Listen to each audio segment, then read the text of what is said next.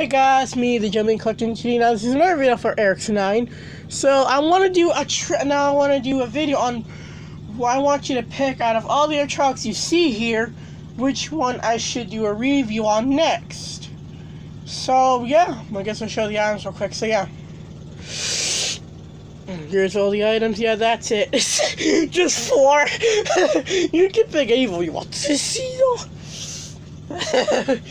so yeah, which one do you want me to do a review on? So yeah, I guess we'll go ahead and go into an overview of the items.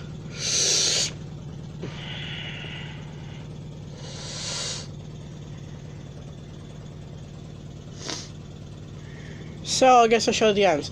Should I do a review on the Gemmy Spacey dog, the jelly bean, the egg spinner, the Stubber Bubble with Star, or the dandy ear flapping, the dandy ear flapping Easter Bunny? So yeah, which one should I review next? or Ring Dignus Axeman Snowman, either or. I just included him. I'm a sucking knockoff of him.